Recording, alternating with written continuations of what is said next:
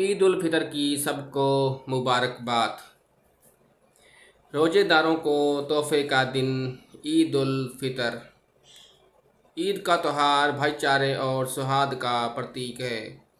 ईद उल फितर अल्लाह का रोज़ेदारों को तोहफे वाला दिन माना जाता है, क्योंकि ईद मन्नतें पूरी होने का दिन माना गया है। आज 11 अप्रैल 2024 दिन गुरुवार को भारत में ईद उल फितर का त्यौहार धूमधाम से मनाया जा रहा है। ईद उल फितर दरअसल दो शब्द हैं, ईद और फितर। असल में ईद के साथ फितर को जोड़े जाने का एक ख़ास मकसद है।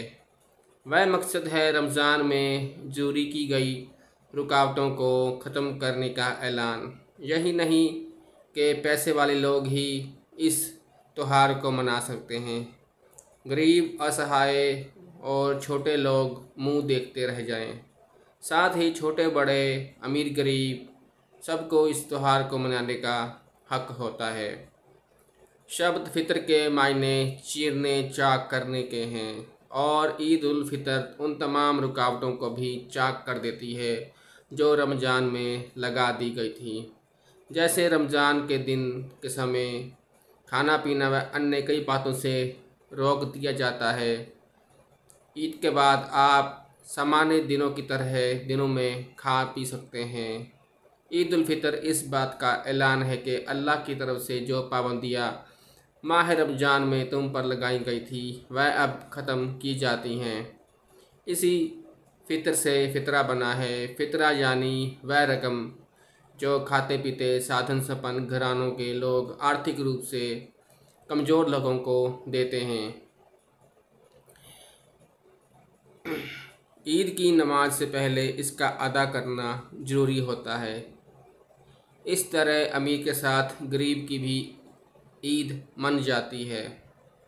कुरान पाक के अनुसार किताबों में आया है कि रमज़ान में पूरे रोज़े रखने वाले का तोहफ़ा ईद है। इस दिन अल्लाह की रहमत पूरे जोश पर होती है। और अपना हुक्म पूरा करने वाले बंदों को, रहमतों की बारिश से भिगो देती है। अल्लाह पाक रमज़ान की इबादतों के बदले अपने नेक बंदों को बख्शे जाने का ऐलान फरमा देते हैं। असल में ईद से पहले यानी रमज़ान में जक़ात अदा करने की परंपरा है। तो और इसी तरह ईद उल फितर और ईद उल फितर मन्नतें पूरी होने का दिन है। अल्लाह की तरफ़ से रोज़ेदारों को तोहफ़े का दिन माना गया है।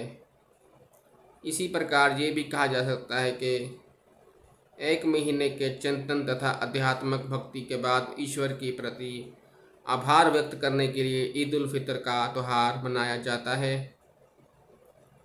जिसे मीठी ईद के नाम से भी जाना जाता है और ये रमज़ान के प्रति इसका प्रतीक भी है। तो सबको ईद उल फितर की मुबारकबाद। रोज़ेदारों को मिलेगा तोहफ़ा।